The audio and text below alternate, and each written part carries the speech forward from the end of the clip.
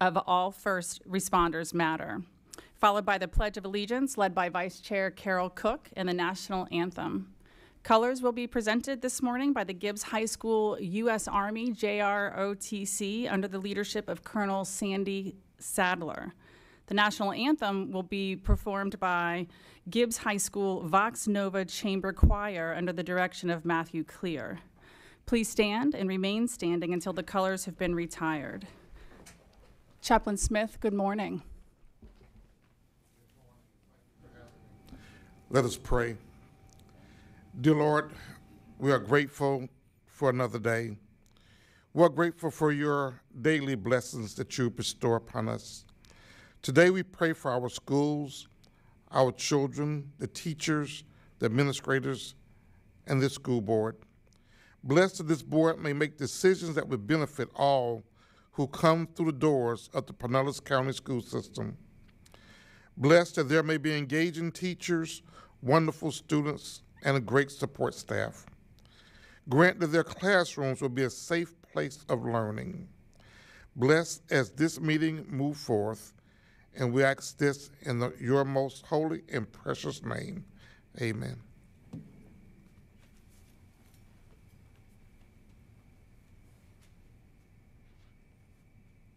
Cover. Breathe, cover. Air, breathe. Colors.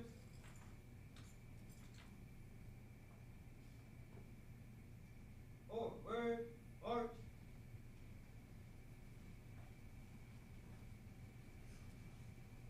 Mark time, march.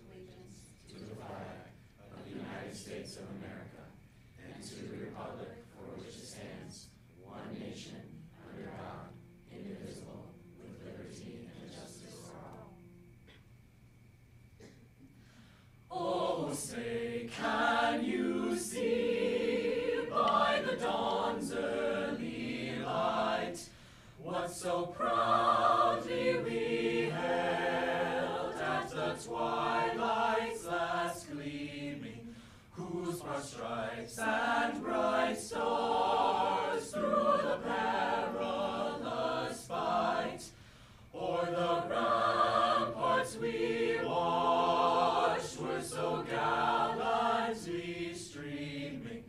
Yes.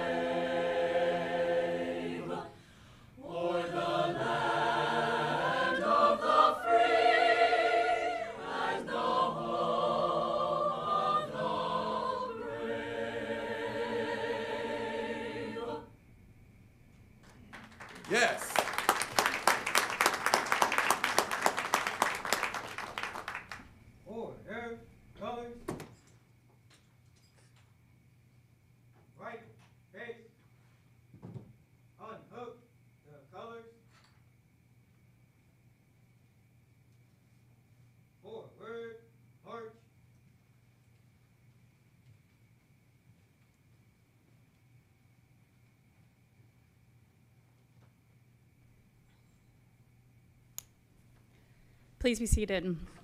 Mr. Clear, could you please introduce the second song? Yes, thank you. Our second piece will be Chaka by Sydney Guillaume. It's a Haitian piece, and we'll be singing it today in Haitian Creole.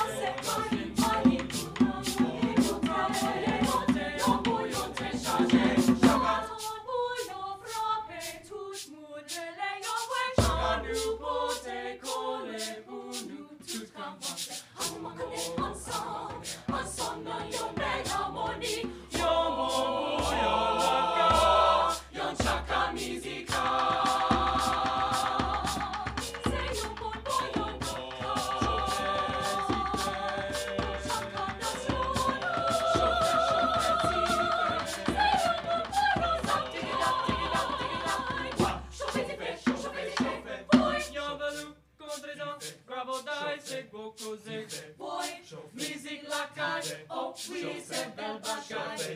Kole, kole, koda, koda, pębose. Szopę dipy, szopę dipy, czaka, a pębaka. Oj, oj, oj, oj.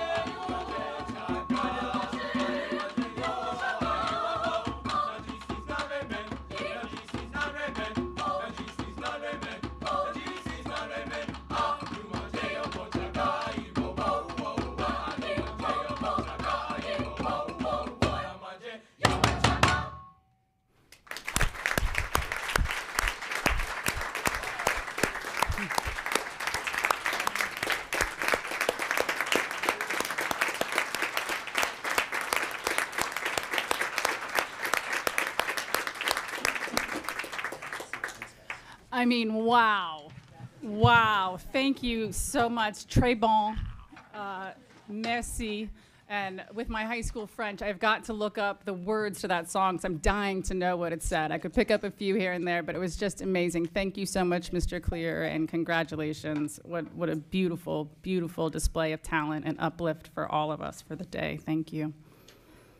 Mr. Brown, that was pretty great. Do you get to hear that every day, Principal Brown? I mean, that's, that's good stuff right there. Um, so we'll now share a video that shows a recap of Experience PCS, which was held at Clearwater High School just a couple of uh, weeks ago.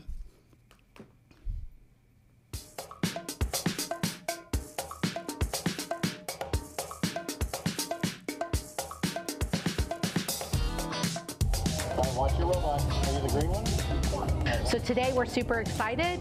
We have our Experience PCS event, which is our second annual event, where we're showcasing the amazing programs that we have available to students in Pinellas County schools.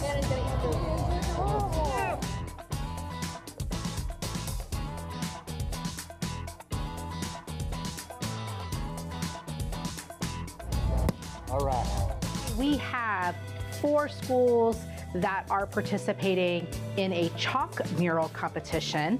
They are working with their art teachers to create a chalk mural to represent Youth Art Month, which is the month of March. And we have a culinary competition where families are voting on their favorite sweet treat.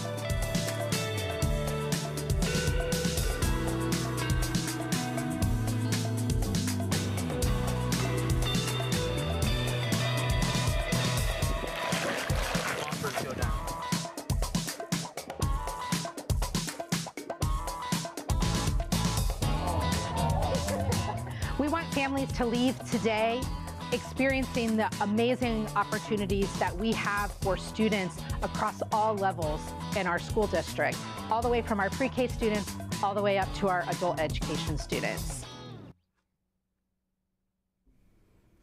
Thank you. Pretty, pretty incredible to bring those number of programs and people and schools, and then the number of people who attended. Incredible to be able to um, display and show all the programs we have to offer. Thank you, and thank you, Ms. Hill, for all the work that went into organizing that day. Next, we'll have the introduction of professional and community organization representatives. Isabel Mascarenas, our public information officer. Good morning, Madam Chair, members of the board, Mr. Hendrick, and staff.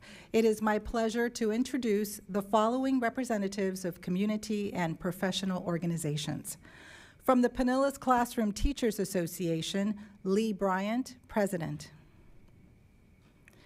Representing the North Pinellas League of Women Voters, Vivian Posey, Carol Bailey, and Karen Glass. From the Pinellas Arts for a Complete Education Coalition, Terry Marks. Today, we have a presentation from the Student Rights and Responsibility Committee. Please welcome students Rebecca C. McCurtain and Jordan Martin from Gibbs High School and their principal, Barry Brown. Good morning. Thank you for being here this morning.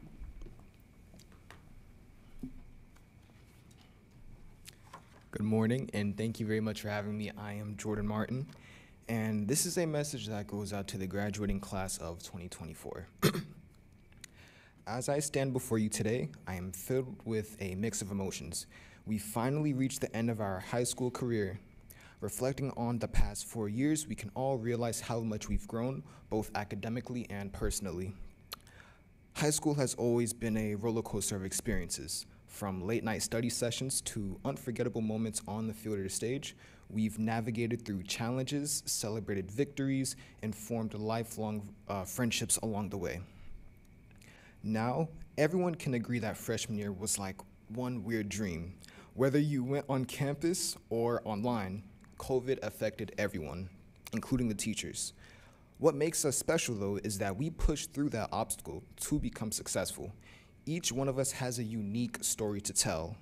I would like to share my experience not only as a successful scholar, but as a proud Gibbs gladiator. One thing I want to highlight is the campus activities. It's something new every time, and even if you aren't participating, you will still enjoy watching. Ranging from activities like kickball to musical chairs to dancing, it's guaranteed to always get a crowd going. My personal favorite activity we did at Gibbs this year was Culture Day. It took place outside during lunch. Those who wanted to rep their ethnic background participated and dressed up in their attire and made things like posters, cards, and other items that are linked to their culture. Another thing that I'd like to do is thank the teachers and staff that helped shape me into the student I am today. I'd like to thank Miss, uh, Mrs. Corbett, uh, Mrs. Denard, and beta counselors like Ms. Miller, Ms. Brown, uh, Mr. Muha, you've been also great. And these are just a few things that the awesome staff at Gibbs uh, helped me with, and I want to thank uh, I want to thank them so much for giving me the opportunity to grow and prosper as a student. With that being said, my life as a gladiator has been a little bit challenging, but the ride was also fun. May we continue to chase our dreams and make a difference wherever life takes us. Thank you. Thank you, Jordan. Thank you so much for having me. I'm Rebecca. When I chose Gibbs High School when I was in the eighth grade, all anyone brought up was my high school experience. I was going to be driving 30 minutes from my house in Palm Harbor all the way down to St. Pete for the chance to attend Pinellas County Center for the Arts, so I figured football games and pep rallies would not be my thing. I guess I was sort of right, because I can't say that I ever made it out to a football game over my four years. But that didn't stop me from screaming my head off rooting for our boys that were winning the basketball state championship this year. So, what led me there? What is my reason to shed a tear at graduation? It's the students and an amazing faculty. Let's start with PCCA, Pinellas County Center for the Arts, my reason for the 30 minute drive that turns into an hour drive in the afternoons. When I found out about PCCA, there was nothing that was going to stop me from attending, and I'm so glad that my parents let me go. PCCA has done so much to help me these past four years. I got voice lessons once a week, dance classes every other day, acting and musical theater classes that delved into collegiate material. This past year, my musical theater teacher, Mr. Heinzman, helped me film pre-screens with which function as artistic applications to colleges. These pre-screens got myself and my friends called back to some of the most prestigious theatrical institutions, including Juilliard, NYU, and University of Michigan. He had coached our whole class on the college audition since the beginning of our junior year, making sure that we were ready for a highly competitive field. Beyond that, PCCA has allowed me to experience leadership and dedication that I'm not sure I would be able to have anywhere else. Just this year, I got to help cast our district thespian festival, and I directed our large group musical of 15 people, which ended up getting selected to perform at Morsani Hall at the Straz for state thespians in front of an audience of over 2,000. All of this makes PCCA the best option for me. But it's not only the curriculum and opportunities that have made the program worthwhile, it's the student body. I have never been in such a supportive and kind place. With a small class size for each major, each class feels like a little family. My class has gotten together to have picnics, pitched in to get our teachers Christmas presents, and helped each other get through AP statistics. However, PCCA exists within Gibbs. So, what about Gibbs? What makes Gibbs special? My parents had the same question when they were debating sending me to an IB program or a private school. Well, I can now say that Gibbs has some of the best teachers and students. The teachers I have had have been so wonderful and have taught me so much. I would not have gotten through all of the AP classes without the support of this amazing faculty. When I decided to go to Gibbs, I decided to participate in the AP Capstone Diploma. This involves passing six AP classes, including AP Research and AP Seminar. Both of these classes have been the most difficult and wonderful classes I have ever taken. AP Seminar, which I took last year, allowed me to learn how to collaborate with others, present an argument and defend it, and begin my own research. This year in AP Research, which is taught by Dr. Teo, a graduate of Texas A&M with a doctorate in science, I'm doing my own ethical research by putting out polls, putting together interviews, and creating a 12,000 word document that justifies all of that work. And it's not just my AP Capstone required courses that have allowed me to learn so much. AP US History and AP World were such a joy to be in that I contemplating majoring in history. AP Comp and AP Lit were so fun that I'm minoring in literature in college. Not to mention, all of my AP Capstone required courses inspired me to plan to get my master's in dramaturgy to become a theatrical journalist. But, just like PCCA, the student body makes Gibbs a joy to attend. Lunches alone are a permanent party. Every Friday, the jazz band plays in the courtyard. On the days of big games, our band, dance team, and cheer team holds pep rallies, and our PMAC club makes sure that there's always some sort of celebration, whether for Valentine's Day or Women's History Month. The Gibbs student body is alive and filled with pride. We are a group of students that hold our campus in the highest regards. All of this to be said, I am proud to be a gladiator. I am proud to be a part of a supportive and lively campus, filled with amazing students and a wonderful faculty. The students are also backed by amazing community. If you've never had the chance to go to a Gibbs graduation, I would highly recommend because there is no energy greater than the Gladiator Nation watching their kids walking across the stage in May. It is often what inspires me to keep trying in class. The community of Gibbs is truly an inspirational community of students and families. So, even after I walk the trop, I will be glad to say, Go Gladiators. And to all the people that questioned my high school experience in such a unique place, all I can say is don't knock it till you've tried it. I just so happen to have had the coolest and most special high school experience. It's even better than Ferris Bueller's Day Off. Rebecca and Jordan, thank you so much for your presentation this morning. It was exceptional hearing about PCCA, certainly, but also about all the activities um, across campus and the and, and the student body and just the feel. Um, we do have a Gladiator graduate on our school board, Mrs. Edmond, graduated from Gibbs High School. Um, and also that state basketball championship that your boys team just won is not just about basketball, it is about the entire campus. And it's about the student and staff leadership and atmosphere that's created there that allows that kind of success to happen. So, Principal Brown, congratulations.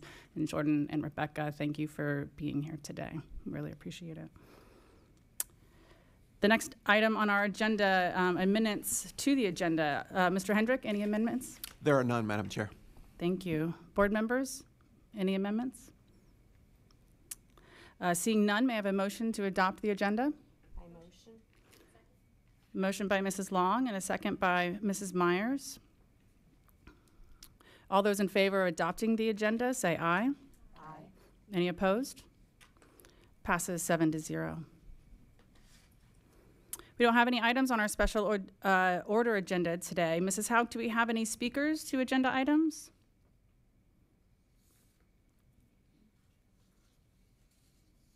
Yes, Madam Chair, we have one speaker for agenda items. Thank you. Members of the public have three separate opportunities to address the board when we gather for a business meeting. The first is public comment on agenda items. The second is at public hearings, most of which are policies. And the last is after our meeting when speakers may address the general business of the district. At each opportunity for public input, board members are here to listen to you. This is not a time for interaction, but the board will take your comments into consideration before we vote on agenda items. The board is committed to a standard of civility and decorum in conducting our meetings. This includes refraining from clapping or making audible noises during or after a speaker's comments. We appreciate you assisting us in maintaining a civil and constructive environment. Lastly, please note that this meeting and all public comments will be broadcast live on the internet and the video will be publicly archived. Members of the public may always communicate with the board through our email address, board at pcsb.org, or by calling the board office at 588 6300. Thank you. Please go ahead. Thank you, um, Madam Chair, board members, Mr. Hendrick. Our speaker is Mark Clutho. He's speaking to items 7.7, 7.8, and 8.1. Mark Clutho, Largo. 7.7, 7.8. St. Petersburg Collegiate High School. That's a joke. These charter schools, they ought to be outlawed, but calling it a collegiate high school? yeah, right. Now, moving on to 8.1. The stra- strategic priority, fiscal and operational responsibility. Uh, there you go again, using that word strategic. Uh, that's way past your whatever. you say three million, one hundred and twenty-six thousand. The whole job is five million, three hundred and twenty-six thousand. But you're saying you're using these six pre-built classroom buildings to replace traditional classrooms, and this is economically efficient. Well, there you go again. Using that word, you're not qualified. Efficient? No. You don't know what it means. You wouldn't be doing something like orienting that building up there in Clearwater the wrong way. You don't know what efficient is.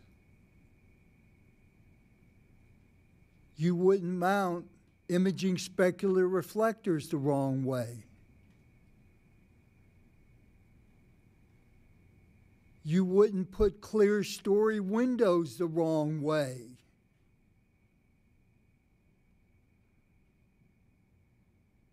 I could take all day describing all of your mishaps with the buildings. But see, what's happening right now, 2023, the graph says it all.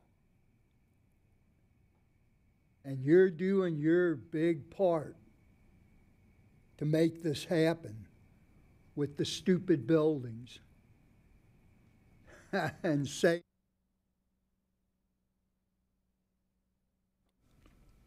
Madam Chair, there are no more speakers for agenda items. Thank you.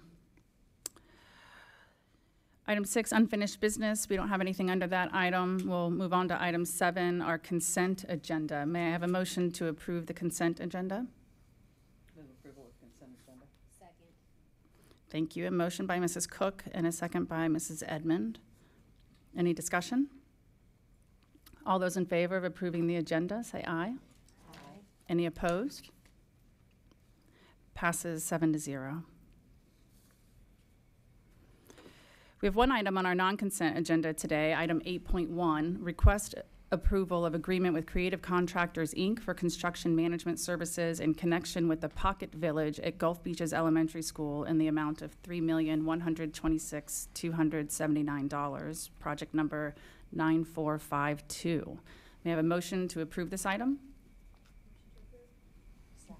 Mrs. Meyer, motion, and second by Mrs. Long.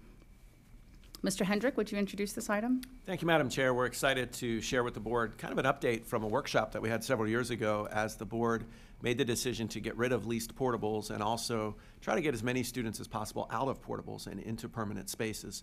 And so Mr. Herbeck's going to share this update with this project and, uh, and how it's going to be for the students and improving the look of a neighborhood and school as well. Mr. Herbeck? Thank you, Mr. Hendrick and Madam Chair and board members. I think probably biggest question everybody has is what is a pocket village? And so I want to give you a little bit of a background on that first, and then uh, we'll share some slides with you a little bit later on. But as Mr. Hendrick alluded to, in 2017, the district set a goal of eliminating uh, what we used to call portable cities, which is really these long-standing um, multi-portable unit kind of deployments uh, that were used at one time for overcrowding and um, as, as an option to building a new uh, building.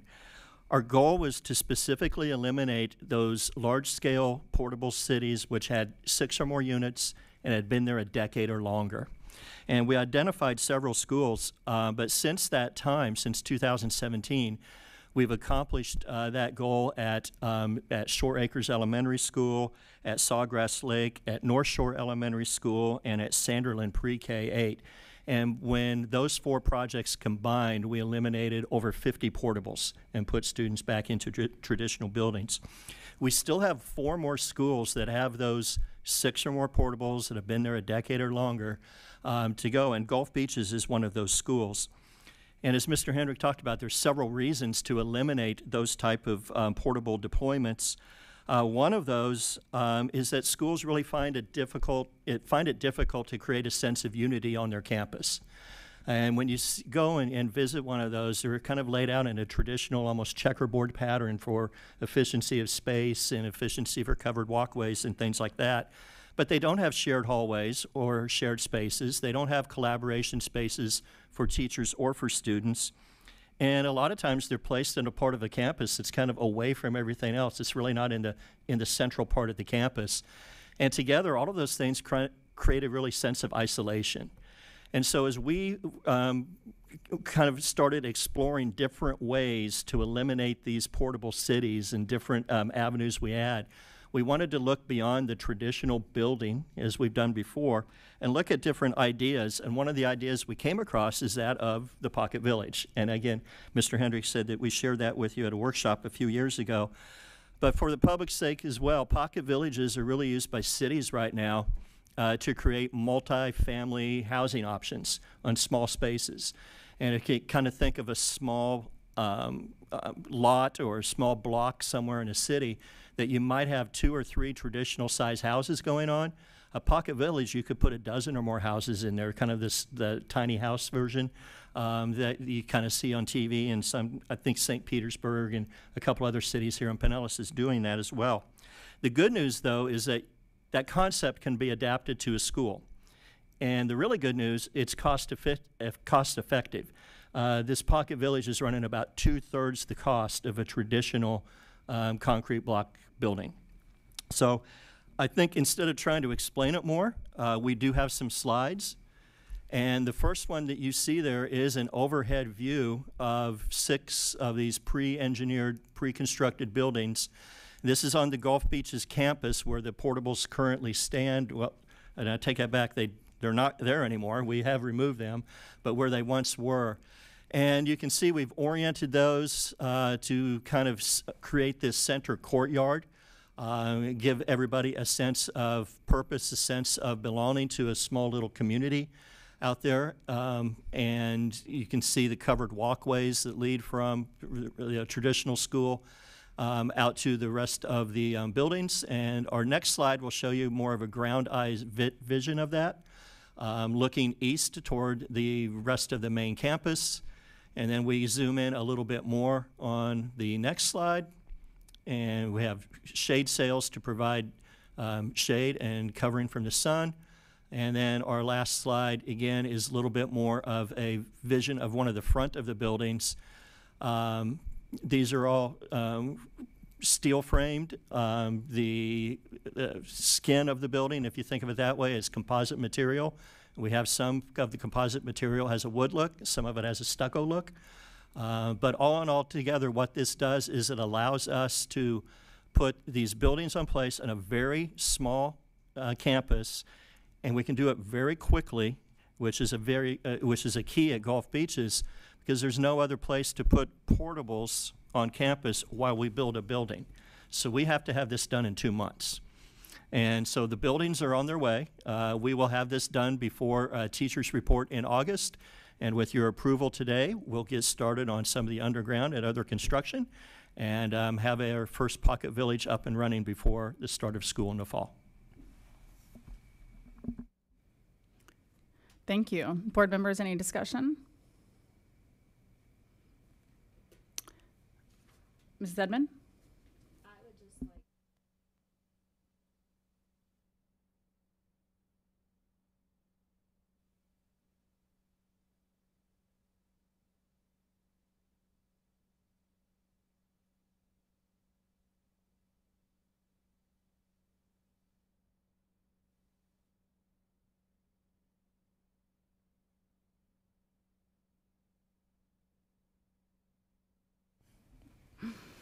Um, Mr. Herbic, you, you mentioned um, there were four, four more schools to go, including Gulf Beaches. What are the others? Uh, four in total. Gulf Beaches is one of those. The others are Anona Elementary School, Pasadena Fundamental, and Sutherland Elementary School. And, and again, I, I do, uh, I, I- I failed to mention earlier there, um, with a caveat, we still do need the use of the occasional portable. Yes, So we, yeah. we won't be putting this in when we need one or two portables somewhere. Right. Um, and I mean, that, so this is our first time doing this concept, and I do remember looking at it closely in the workshop, asking a lot of questions about the materials, that it meets code, you know, all the all the pieces we have to meet as far as hurricane shelter, et cetera. Um, and um, but you know, it could be something we use at some of these other schools if once we once we see how it is and works. Absolutely. We picked Gulf Beaches first because it's the most challenging project. So we figured if we can pull it off there, we can do it anywhere else. No, that's great. Thank you. Any other questions or discussion? Okay, with the motion and a second, uh, we'll take a vote. All those in favor of approving item 8.1, say aye. Aye. Any opposed? Passes seven to zero. On to new business, item 9.1, items introduced by the superintendent. Mr. Hendrick. Thank you, Madam Chair. Uh, welcome back to our board members and all of our staff and students from spring break. I know it may seem like so long ago now, but it's only been three days. Uh, and we have nine weeks of school left and lots to accomplish. And so uh, we're excited about this final home push here in the last quarter.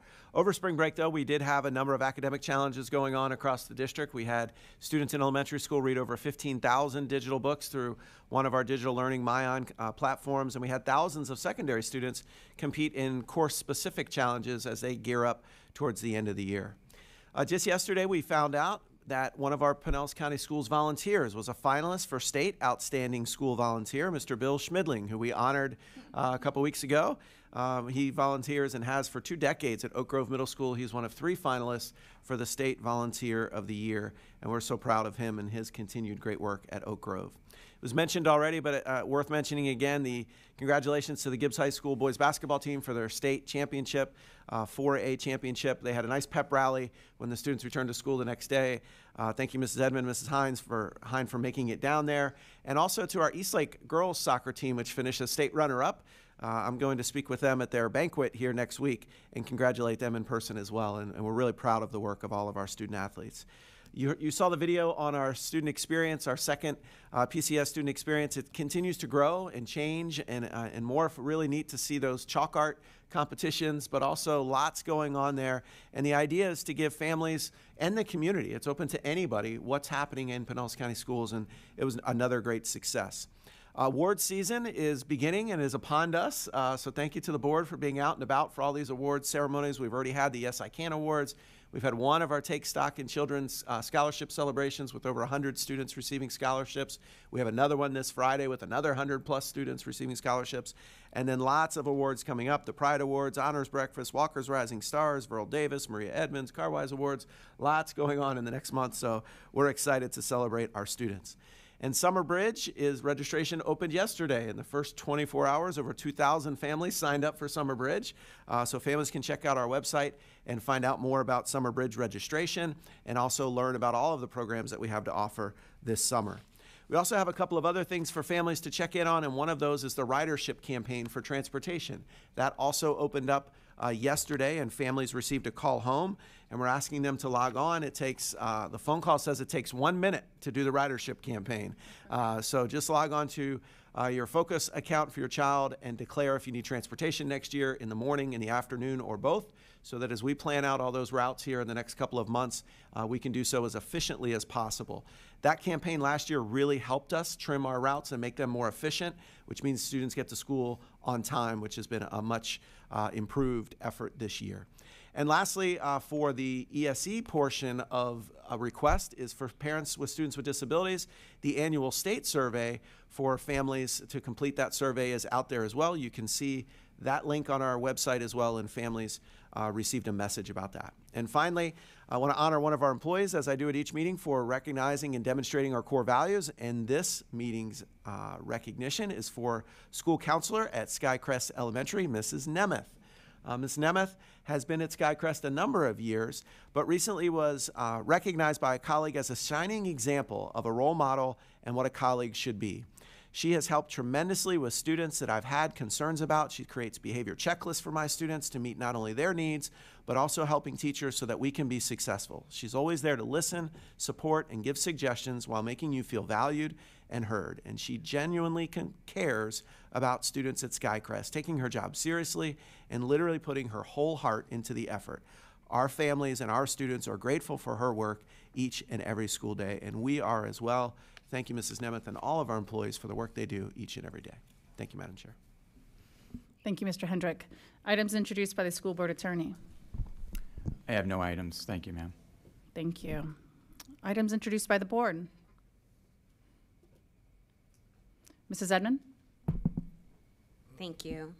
Um, I just would like to share that April 10th from 3 to 5 p.m.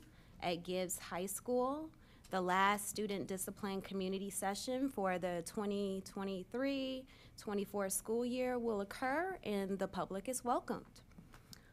Also, I would like to share that I continue to hold the status of a certified school board member um, through Florida School Board Association.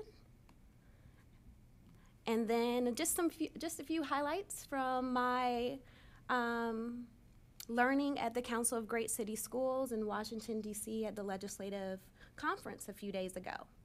I, I know I mentioned um, at the last board meeting how important it is to be able to learn, network, and bring that information back. And I want to share with you that you all should have received an email from Mrs. Hauk, which includes minutes from the fall Board of Directors meeting, as well as other attachments from um, the meeting that I attended um, a few days ago. And then I have some hard copies of things that you may want to take a look at at your convenience. Some of the sessions that I participated in were very informative, including the panel discussion from receiving updates on what's going on in Washington to looking at how states are being advocated, um, how states are being affected by education issues on a federal on a federal platform, for example, federal funding.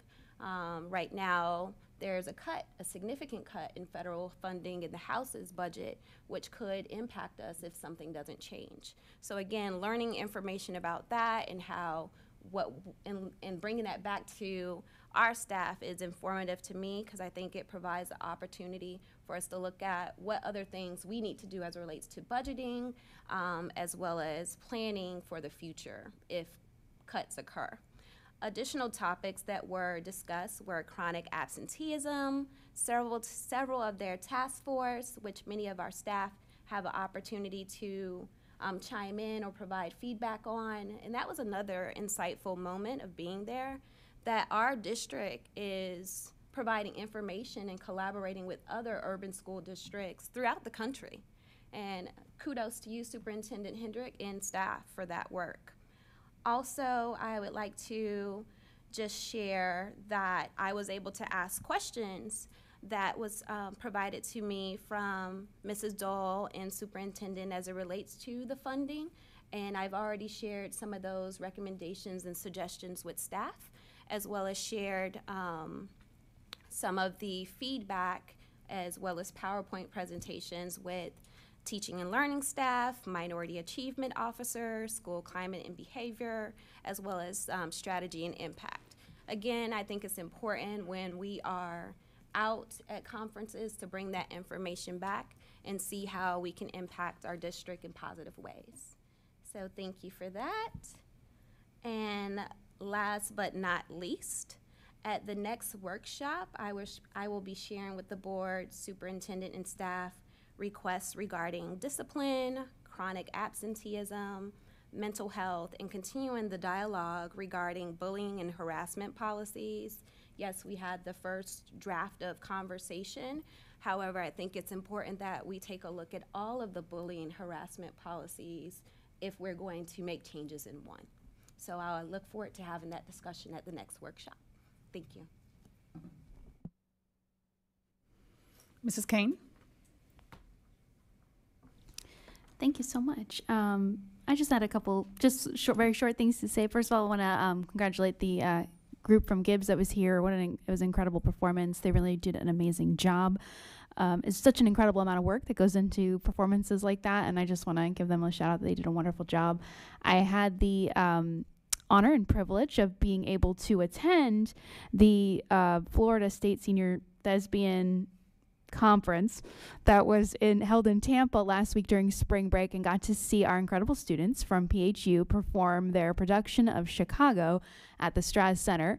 And it was such a privilege uh, and honor to be part of the audience and get to watch them and it really speaks to some of the um, incredible experiences that we're trying to provide for our students. And I just wanted to um, give you all a little update because I think sometimes we think of all the performing arts as the performers getting these, you know, performance opportunities on stages, but there was so much more involved in this than maybe people would understand or know.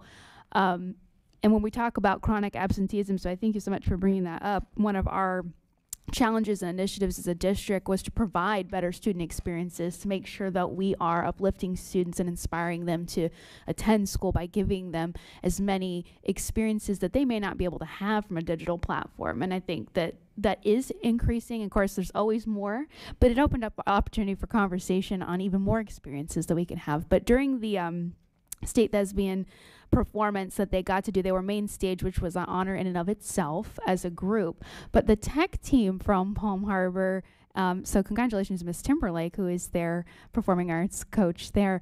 Um, they had to move all of their sets, load a truck, unload it at the Straz Center, set it up, and reload it and break down all within a 24 hour period like a road show.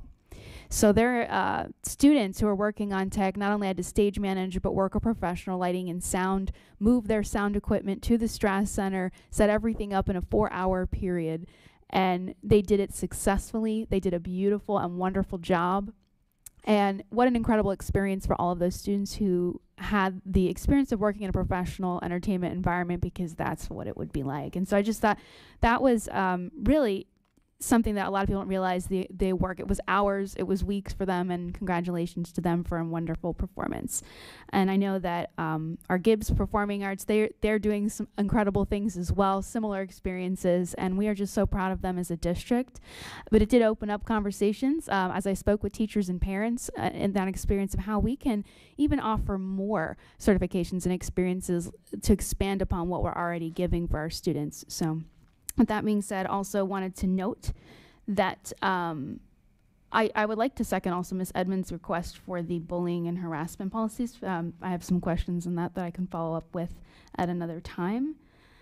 But also um, next week we are holding the subcommittee meeting.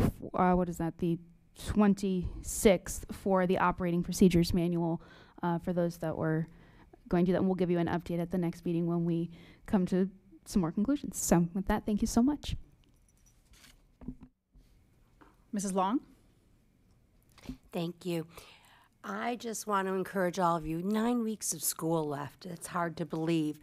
But if you're retired, if you only work part time, please consider becoming a mentor. I have started mentoring a, a, little girl at Cypress Woods, and I am having such an incredibly good time. I can see me staying and watching her go through high school. It is such a joy. She runs and she jumps towards me and she hugs me, and it is, you know, such a joy to help a child.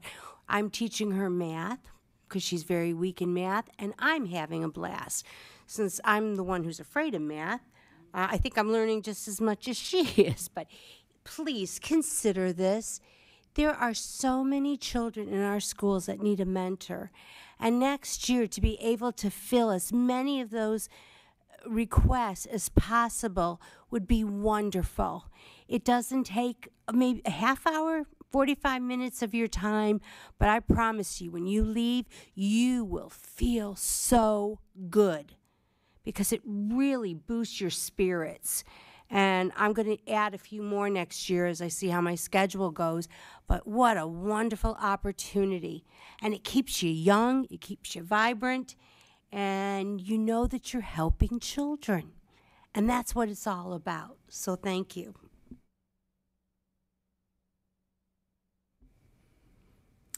Thank you, Mrs. Long, Mrs. Edmond, Mrs. Cane. Um, we just got through spring break, and as we all know, it goes quickly from here, doesn't it? So let's just stay focused and bring it home. Thank you to all the all all of the teachers. One more quarter. Um, and, and it's going to be a great a, a great quarter, and I know we're going to end strong.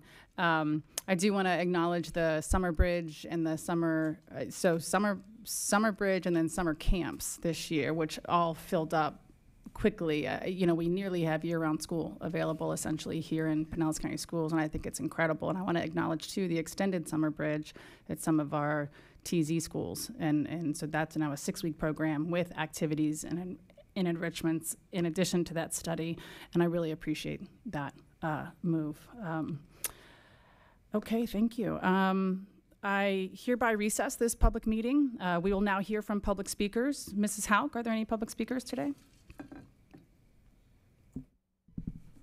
Yes, Madam Chair, we have eight speakers this morning.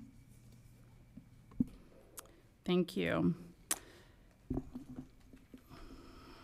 So we'll move on to the public comment on the general business of the district. Please note that the views and comments of the public speakers are their own and they're not endorsed nor sponsored by the school board or district. We cannot ensure the accuracy of statements made, but will review concerns that are raised and take appropriate action, which may include clarifications or the referral of speakers to the proper staff member for assistance. The board is committed to a standard of civility and decorum in conducting our meetings. This includes refraining from clapping or making audible noises during or after a speaker's comments. We appreciate you assisting us in maintaining a civil and constructive environment. Additionally, please note that although board members or Superintendent Hendrick may leave the dais briefly, there are speakers in the back room, and we will continue to be able to hear your comments. Thank you. Mrs. Hack? Thank you, Madam Chair, board members, Mr. Hendrick. The first two speakers are Ant Avila and Charles Derrickson.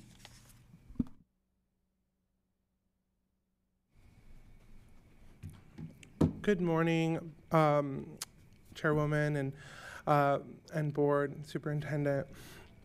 Thanks so much. Uh, my name is Ant Avila. Uh, I am the Tampa Bay Community Organizer with Equality Florida. I want to start with um, once again thanking um, the district for releasing its inclusive guidelines. Um, we very much appreciate that and have been um, sharing that news with teachers um, so that they can um, understand how to create inclusive environments for all students. I'm uh, here uh, also s- speak about our initiative um, that we've launched called Bring Back Books. So the district, um, like many, has seen um, a great deal of requests and reviews to um, to remove books from schools, and we would really like to encourage this district and others to um, bring about policies that encourage books coming into the district from a really pro literacy standpoint. Obviously, something everyone on this dais can agree um, is a priority for this district. Um, so, uh, some policies that we would like um, to the district to, to consider are around um, allowing parents to advocate um, for books being in, in their child's school and um, inquire if those books are already. So there are processes placed to review books and remove books. We would like um, similar processes to um, inquire if those books already uh, are accessible to uh, students and if they're not, if they can be. Um, so we, again, thanks, thank you to the district and to the board for um, hearing the voices of the community um, and bringing about um, inclusive guidelines for teachers and, and staff to effectively serve the student body. Um, and we look forward to working with you on bringing books into the schools um, from that pro literacy standpoint. Thank you. Thank you.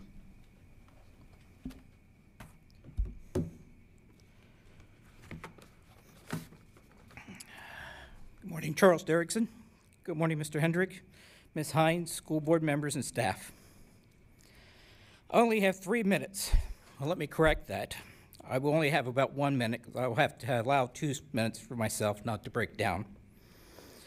First of all, I'm not here to accuse or to place blame.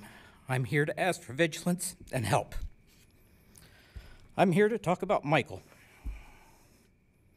Michael was a 2012 Mayor of Enterprise Village, 2012 graduate of Ridgecrest Elementary, a 2014 semifinalist for Pinellas County School Board Youth Volunteer of the Year, 2014 recipient of the Doorways Now Take Stock Scholarship, 2014 member of the Seminole Middle School 5000 Role Models,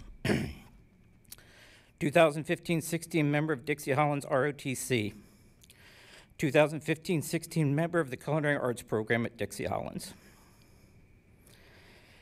a 2017 dropout from the Doorways Program, a 2018 dropout from Largo Senior High School, a 2018 victim of homelessness, a 2020 victim of psychosis and mental health issues.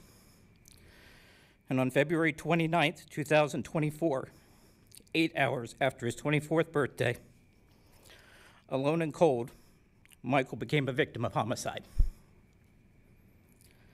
The question that haunts me is this How did this child become a tragedy?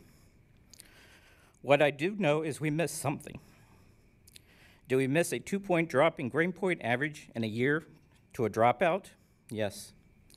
Do we miss the dismissal from a scholarship program? Yes. Why? We suspected drug use. Yes. We missed something because Michael did not hit one of our number targets. He flew under the radar. An average white male, average grades, normal attendance at first, no real discipline issues, just average. Did the school system fail Michael? Probably not. Did the legal system fail Michael? Most definitely. Did society fail Michael? Yes.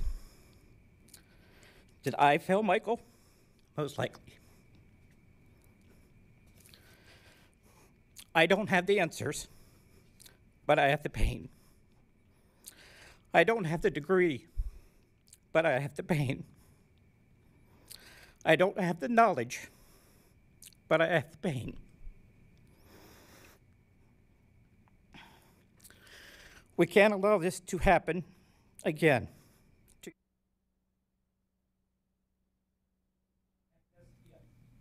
Thank you.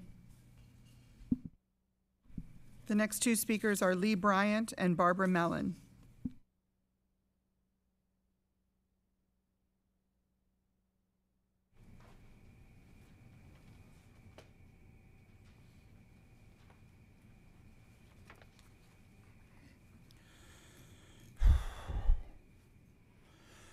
Uh, Good morning, Chair Hine, members of the board, Superintendent Hendrick, and staff. My name is Lee Bryant. My pronouns are he, him, and his, and I am the president of PCTA, the acting executive director of PCTA PESPA, and the head maintenance person at the Jade Moore Building.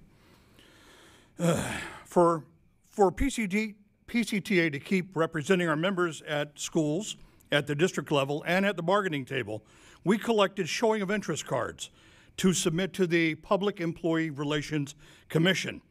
The PERC rules require 30% of the bargaining unit to sign these cards so that we can trigger a vote on keeping PCTA as the bargaining agent. On the morning of March 5th, I hand delivered 4,030 signed cards representing 58.84% of the members of the bargaining unit to the PERC offices in Tallahassee. I even took the office people there a box of donuts uh, because they had a lot of work ahead of them that day. Uh, it's nearly double the amount needed to trigger the election, the next step in the process. The next step is a mail in vote run by PERC, not by Pinellas County Schools, not by PCTA, but by PERC. Uh, and we have no idea when that will be. They are swamped, they are overloaded because of the legislation. We have no way of knowing it, but our contract remains in place and enforceable until the vote is called. PCTA is only getting stronger and stronger. The gratitude I have for the challenging work our staff and our members put in to reach that number is immeasurable. We have no quit in our office. Moving on to PESPA. PESPA begins its showing of interest card campaign this week. We look forward to having the same success as our sister union. Uh, the members of PESPA bargaining unit have an even greater opportunity to show their collective strength as this is an open book contract year for PESPA. We will need to show that we are standing together as we enter into contract negotiation to make life better for the employees that support our schools. We need to make sure our support personnel, our support professionals are fairly compensated and are supported by the school system. Because bargaining builds better lives, we won't back down. Thank you for your time. Now, if you'll excuse me, I'm sure something at the office must have broken by now that I need to go back and fix. Alone, we can do so little. Together, we can do so much.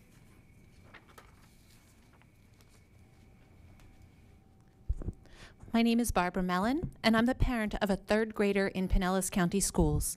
I usually stay, stay up here and just urge you to ensure books are available to all students, to trust our media specialists and our teachers, to do the job they are trained to do, and let a student's parent decide for their own child.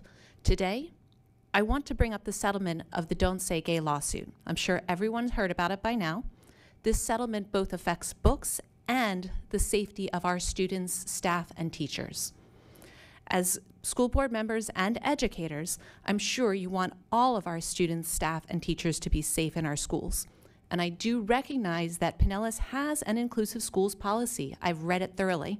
And that policy means we have been on the forefront in Florida, allowing GSAs, school safe space stickers, and similar. However, despite these guidelines, there is still so much bullying going on. Parent requests for inclusivity are ignored in various schools because of tradition. Our LGBTQIA students and staff are still not safe. As noted in our own inclusive policy, Pinellas County has one of the highest suicide levels in the state. So this means our policy is not stopping the harassment and bullying encouraged by this law. Just last spring, a close friend was told by an elementary school principal that her first grade non binary student's safety could not be guaranteed. That student has since left Pinellas County Schools. With this settlement, our staff must be immediately notified that the policy is in place and the bullying and harassment cannot continue or be tolerated. And now, notably, the settlement also includes a clarification of the library books policy, stating that library books with LGBTQIA plus themes may not be banned under legislation so long as they're not being used for instruction. While it's true Pinellas has not removed as many books as other districts, we still have removed books by and featuring members of the LGBTQIA plus community for no specific reason.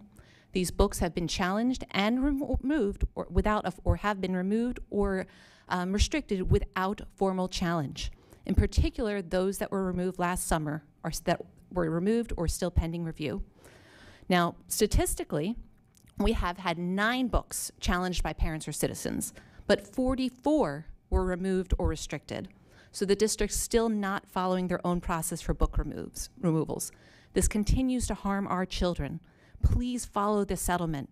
Bring back the books. Ensure our children's teachers and staff have a safe are, are safe and have safety and representation in schools continue to allow parents to restrict books for their own children. But in order to comply with the lawsuit, our policy must include returning books. Thank you. The next two speakers are Shantala Davis and Mark Klutho.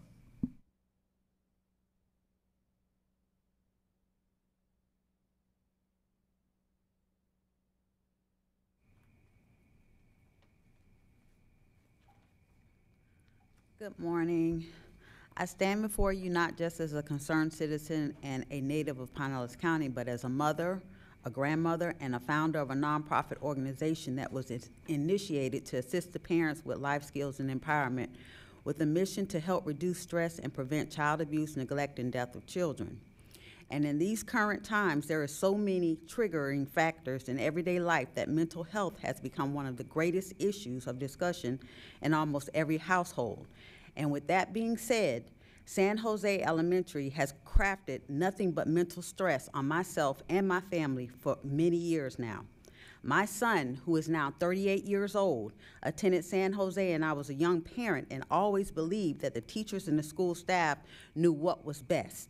And I allowed them to label my son as a slow learner. Years later, I had my eldest daughter, who is currently 34 years old, and she also attended San Jose, and miraculously, she was labeled as a slow learner. But during her years of schooling, I started to learn about schools are able to get extra funding for children who were considered as having a disability, hence, slow learners. Many, many years later, I gave birth to now my soon to be 17 year old daughter, who, is, who also attended San Jose, and guess what happened? Yes, she too was set to get the label. And after she was shamed, lied on, and mentally abused by her teacher, I had her removed from San Jose to a different school, and she excelled ever since. But the story doesn't end here. As I said, I am a grandmother, and I also have two grandchildren that currently attend San Jose Elementary. And ladies and gentlemen, what do you think is currently taking place? San Jose is now trying to label my grandchildren. San Jose has labeled my whole entire family lineage in one way or another in some type of way with some type of disability or slow learner. I find this remarkably absurd, disappointing, abusive, and mental, and I demand answers and actions. I said, now we're so busy creating the outside appearance of these schools, but what about the inside and the people that's internally supposed to be planting power and seeds of greatness in our children and our families. San Jose has been doing this for years, and I'm sure that if you had children, my son, 38, my daughter, 34, and then you tell me all the way down to a 70 year old, Uh, something's wrong with all of my children, and now my grandchildren had to move back into my household while my daughter is looking for another place to live.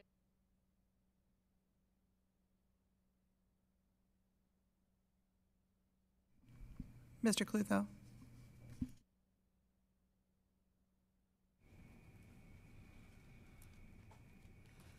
Mark Lutho Largo. Well, yeah, there's an old saying penny wise, pound foolish. And boy, that plan 8.1 that says it all. Here's a primer on sustainable building. And there's a rendering here. The Anasazi Indians, over 1,500 years ago, they knew that proper orientation was the key to their survival. In discussing green design, a bit of historical perspective is useful. It's important to understand that the idea is not new. For millennial, most buildings were of necessity sustainable. It is only in the past century or so, as cheap energy, large sheets of glass, and air conditioning appeared, that architect, architecture lost its moorings and forgot the ancient truth that the most important building covenants are dictated by the earth. Now, you people, you know what you are? You are evil. Making sick buildings and destroying the future. Here's this headline The earth is hotter than we think, sponges say. These sponges without brains are smarter than you are. The headline Could the Gulf Stream be near a tipping point? This is what you're doing with your stupid buildings. That plan you have, it's about as dumb as you can do. It's criminal, malfeasance. Energy appetite in the U.S. endangers goals on climate, rising strain on grids. This is bad. I mean, The next two speakers are Nicole St. Ledger and Tim Conroy.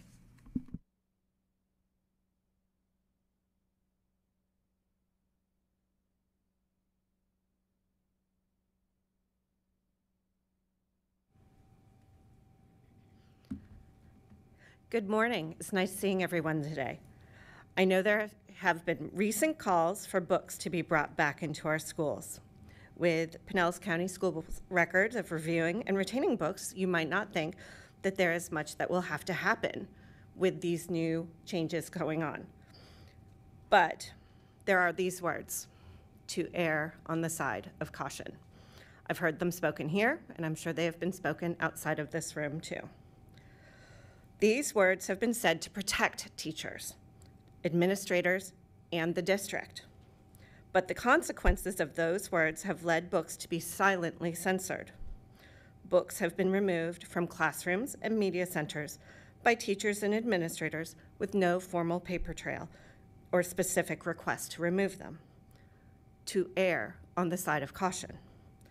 I am not saying this to disparage teachers. They were protecting themselves in the light of vague laws. And I hope that any culling requested by administrators was done to protect the teachers and the schools. But these removals were noticed by our children, my child specifically, although I'm sure if she saw it, others did too. Now, the laws are changed, so these books need to be brought back. Teachers and administrators need your support to bring those books back. Why is this so important? Because the books removed re- represent specific cohorts of our communities. When our children do not see themselves in their learning or the resources around them, they do not feel supported and learning can be stifled. When they need support from their teachers, they are less likely to ask for help, whether in an academic setting or a more serious situation such as bullying. When children don't feel supported in the schools, incidents of bullying are, that is reported decreases. Returning books tell students they are seen and supported. Requesting teachers and administrators to return the books remind them how important these books are and let teachers and administrators know that you are here to support them. So please, let's err on the side of caution to support our children now. Thank you.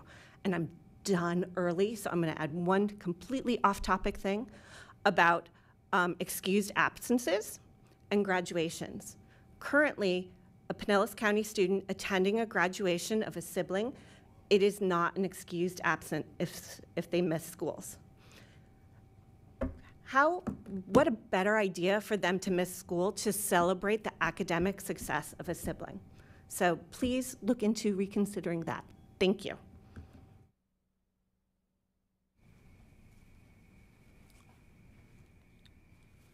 Thank you, school board members, Superintendent Hendrick, and district staff for giving me this opportunity to speak. My name is Tim Conroy, and I'm a proud member of Indivisible North Pinellas, a nonpartisan organization that supports public education. I am not a member of the League of Women Voters of Florida. However, I come before you today to advocate for increased access to voter information and preparation for voting for young adults currently enrolled in the Pinellas County schools. While this responsibility is currently exclusive to the Pinellas Supervisor of Elections office staff, who are required by law to make one visit to every Pinellas public school during the academic year, I am concerned that the task is too tall. Given the number of schools and students in Pinellas County and the many other responsibilities of the supervisor of elections office. It is unlikely that every student is presented critical voter information. This results in many students not knowing that they can pre-register to vote at age 16 or are eligible to vote once they reach the age of 18. According to Civic Center statistics, only 30% of eligible 18-year-olds are registered to vote. In our community, there are approved third-party voter registration organizations, including the League of Women Voters, which have a long history of providing voter information and protecting the right to vote for every eligible citizen. Their members are trained and certified to provide unbiased information about the voting process and voter registration assistance. Members of this and other nonpartisan third-party voter registration organizations could supplement the Supervisor of Elections Office staff efforts to ensure that even more students would receive this critical information. By increasing access to voter information through using approved nonpartisan community volunteers, there is a greater likelihood that all students are well informed about the importance of voting. This is as essential and as valuable as allowing military recruiters for the armed forces to inform students about career opportunities, training, and benefits of serving in our military. As board members, you are doing everything possible to produce responsible and engaged citizens equipped to make informed decisions impacting our society. I urge you to further your efforts by considering the use of approved third-party voter registration organizations, monitoring the number of schools and students who have access to voter preparation and registration assistant events, and making this information available to parents and taxpayers, or considering becoming a third-party voter.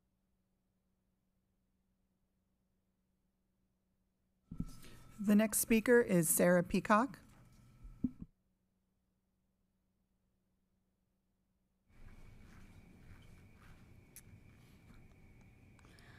Hello. Thank you, Chair Hine, board members, Superintendent Hendrick, and uh, staff for your work and for your support and opportunity to speak.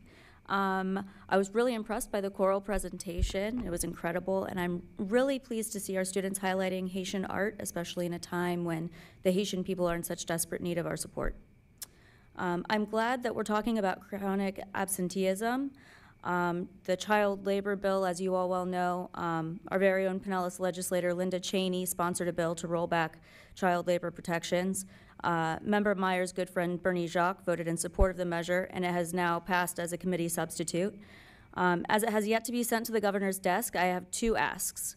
One is that we be thinking ahead to solutions. Um, I hope that our school board is thinking about planning for if this does become law. Um, can we uh, support our guidance counselors in making sure that our students understand their labor rights and state and federal protections when they are now going to be entering construction sites and increased uh, jobs on their time away from school. I'm sure it's going to lead to more absenteeism.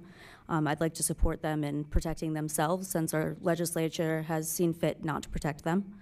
Um, and since it has yet to be on the governor's desk, I hope that you'll all do everything in your power to lobby the governor to veto this bill.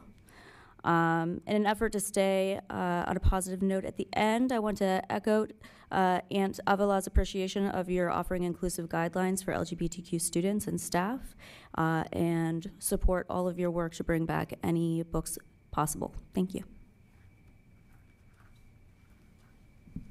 Madam Chair, there are no more speakers.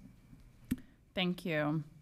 Thank you for your comments. I hereby reconvene the public meeting. At this time, the school board will leave the dais to convene in a closed attorney-client session to discuss pending litigation. The estimated time of this closed session is 30 minutes. The attendees will include all school board members, Superintendent Hendrick, Deputy Superintendent Woodford, Kevin Smith, David Koperski, William Keebler, Chris Altenburn, and court reporter Kathy Lyle.